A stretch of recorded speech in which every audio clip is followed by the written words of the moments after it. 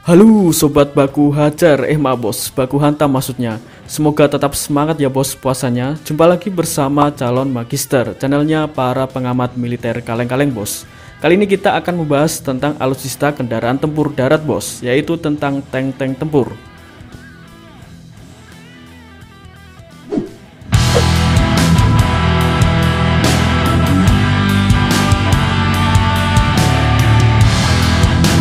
Label PT-76M identik sebagai varian tank amfibi PT-76 milik Korps Marinir TNI Angkatan Laut yang telah dimodifikasi pada tahun 1990 silam. Namun tahukah Anda bahwa jauh sebelum ada label PT-76M pada PT-76 Indonesia, maka pada akhir dekade 50-an, sejatinya Rusia sudah lebih dulu menerbitkan label PT-76M. Bedanya bila PT-76M yang sampai saat ini masih dioperasikan oleh Korps Marinir merupakan produk dari retrofit yang sukses diluncurkan.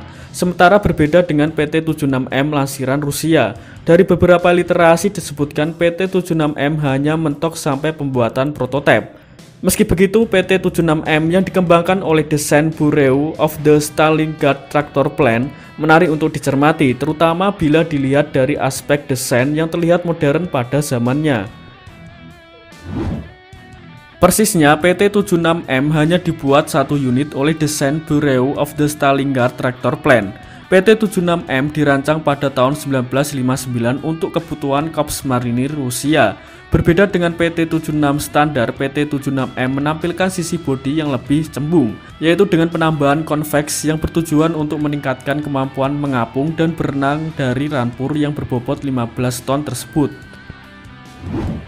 Tidak itu saja bos, letak pembeda PT-76M Rusia ada pada bagian lambung depan yang jika diperhatikan punya bentuk agak streamline, mirip dengan bentuk bagian depan perahu. Malahan bagian depan PT-76M terlihat mirip dengan rampur LAV 25 8x8 yang kondang digunakan oleh marinir Amerika Serikat.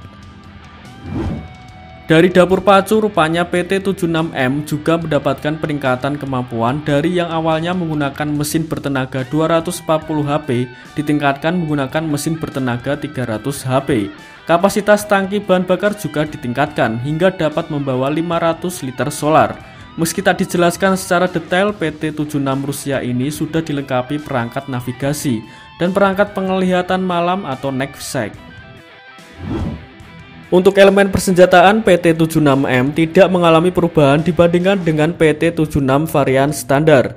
PT-76 varian standar dipersenjatai dengan dua jenis senjata, yaitu sepucuk meriam berkecepatan rendah jenis D56TM kaliber 76,2 mm dan sepucuk senapan mesin koaksial jenis SG43 kaliber 7,62 mm.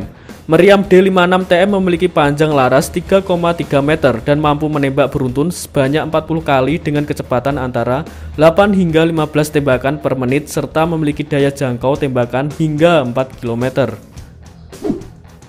Sayangnya PT-76M yang diberi kode objek 907 nasibnya tidak berumur panjang bos. Kabarnya PT-76M gagal dalam pengujian dan pengembangannya dihentikan lantaran dianggap tidak memiliki keunggulan yang signifikan bila dibandingkan PT-76 varian standar.